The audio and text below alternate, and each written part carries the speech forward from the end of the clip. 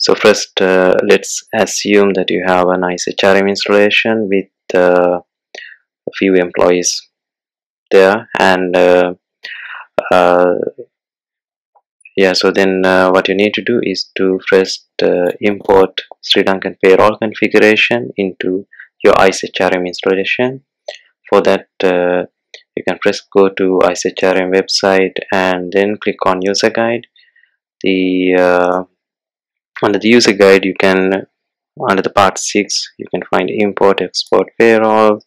So the it's under this section you can download payroll files uh, the this is for Sri Lankan payroll. And uh, yeah then you have to go back to your IceHrm installation uh, go to uh, system data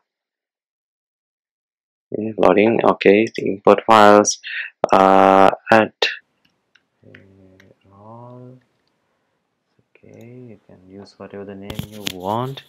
And then you have to make sure that you select payroll data import and then upload the file that you have just downloaded which is Sri Lankan payroll txt open it. Alright now save it so now you have the unprocessed file. Go there and click on the process button. Okay files imported successfully.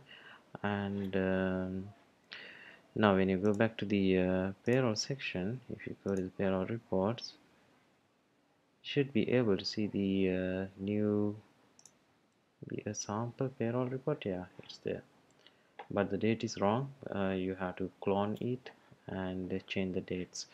Uh, so under the payroll columns you can see the normal payroll columns required for Sri Lanka is already added and the calculation groups um, yeah we have one calculation group. You don't have to worry about it at the moment and uh, yes so so these these uh, these things uh, about the calculation groups calculation methods and the payroll columns are actually covered under payroll management section with all these examples. You can go through these things but to uh, to generate the payroll for Sri Lanka as we have already have the configuration you don't have to go through this guide. You can uh, just import the uh, configuration and now I'm going to show you how you can use it. So you already know that you uh, you have three employees in the installation. Now I'm going to uh, under the payroll salary I'm going to add some salary information. So you have salary component types and the salary components. I'm only going to add the basic salary for all three employees. So for an example let's say the first one it as uh, 2 lakhs and 10,000 and uh, yeah and then the second one Kushan I'll add the basic salary to like 110k okay now it's the third one. Going to add 75,000 just to demonstrate various calculations. So now when you go back to the payroll reports actually when you you have to go to payroll report and uh, if you try to edit I'm not sure. Yes you can change the date here. So you can go and change the date to 2018 August yeah August 1st to 2000 18 August 31st so all these employees so this is the salary uh, the, the payroll frequency is monthly. So yeah it's still a draft.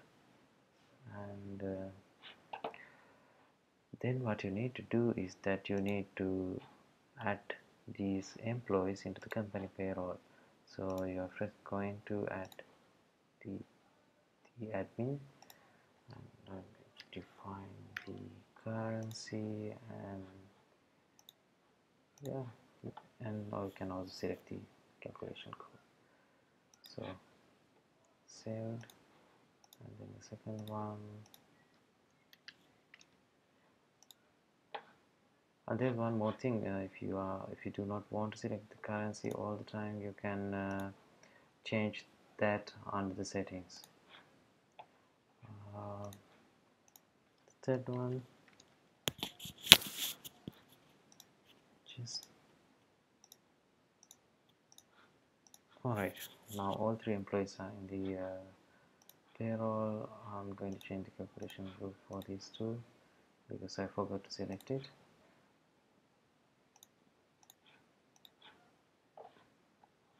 Right now when you go to the payroll reports you can now you have the employees on the payroll.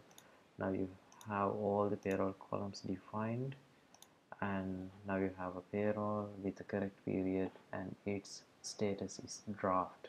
So when the when the payroll is payroll status is draft uh, once you so now you can go ahead and open the uh, payroll report. It will show you the process payroll report and uh, it's the most of the columns seems correct but you can see that the LK salary to bank so that is the amount that will be transferred to the bank. It seems like it's almost equal to the uh, the basic salary so this should not happen. There should be something wrong with this calculation. So I'm going to go back to the uh, payroll columns.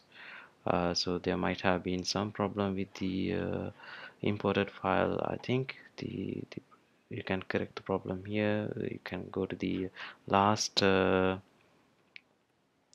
column which is salary to bank and edit it. So it says only add the gross pay but actually you need to subtract uh, total deductions from it. Uh, yes. So if you look at the total deductions column you can see uh, it's the employee contribution for the EPF the PAYE tax and ALK stamp duty. So yeah it seems okay. I'm going to save it. And if you go back to the payroll reports and click on the process again now you can see that the correct salaries are there. Alright so this is your payroll and uh, now you can go ahead and download the CSV file if you want if you want to send it to your payroll provider or you can uh, you can just click on finalize. Now the payroll the the once you finalize it you won't be able to uh, you won't be able to do automated calculations again but you can just go and view the payroll. And the other thing you can do is that uh, we already have a payroll uh, payslip template defined. Your users can go to the user report section. The uh, reports. Under the reports you can see the uh, download your payslip select the uh, payroll and uh, click on download.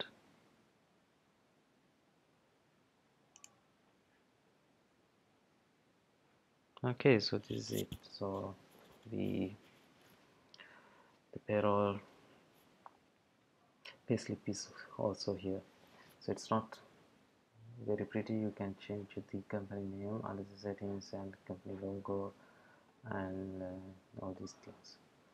So right now actually when you are defining the uh, payroll report I would suggest you to uh, name it appropriately uh, because that's what your employees will see when they're downloading their payroll.